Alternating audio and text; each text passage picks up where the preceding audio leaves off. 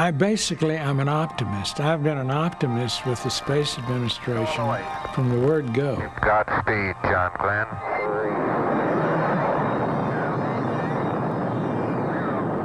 And uh, so far, my optimism has been fulfilled. Contact light. Okay, engine stop. We copy you down, Eagle. Listen, uh, Tranquility Base here. The Eagle has landed. It's one small step for man, one giant leap for mankind.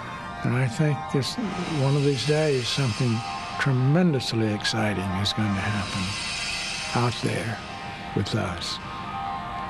I, uh, I have every confidence, and I just hope that NASA will continue to get the, uh, the cooperation and uh, the backing by our government that they have to have in order to do these things.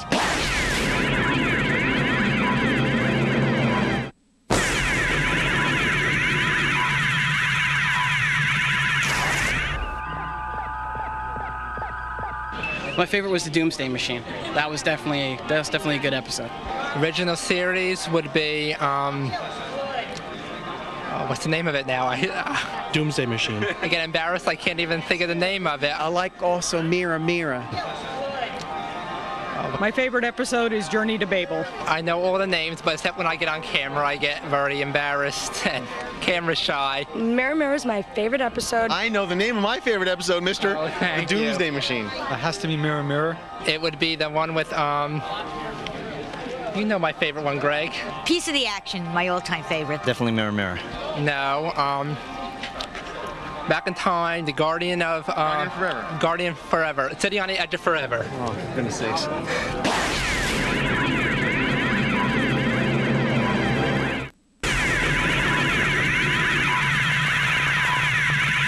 Star Trek fans, they're, they're tremendous. No, I am a Trekkie now, and I I enjoy it. I enjoy talking to Star Trek fans.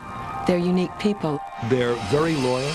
There must be something that Star Trek had to uh, engender this kind of love from people.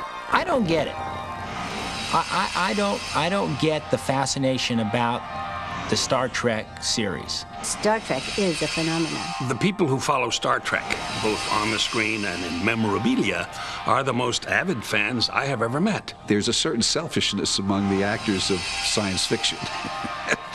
they're, they're kind of spoiled to one uh, degree or another because they, they're, they're paid, as I am, to go to conventions and have a good time. I mean, that's just the nature of the beast. And uh, I've uh, certainly been one that has been chosen to be in the loop, as they say, in convention circles. And uh, I appreciate that. Television is just television, folks. That's all it is. Fans who go nuts about it, who dress up in enterprise costumes, who, who want to know how a phaser works.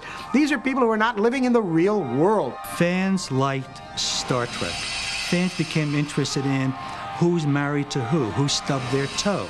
Uh, where did someone go to high school?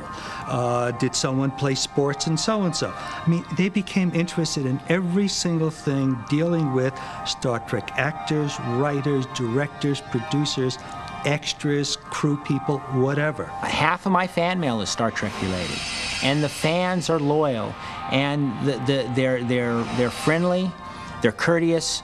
Um, Uh, but I personally don't get it. The Star Trek people, they know your home address, how many brothers and sisters you have, how much education, how you've been to Europe. They know everything about you. There's nothing they don't know, and all they really want is a signature and a little chat about the Doomsday Machine and how did you do it type of thing. So they're fabulous people, and I owe them that much.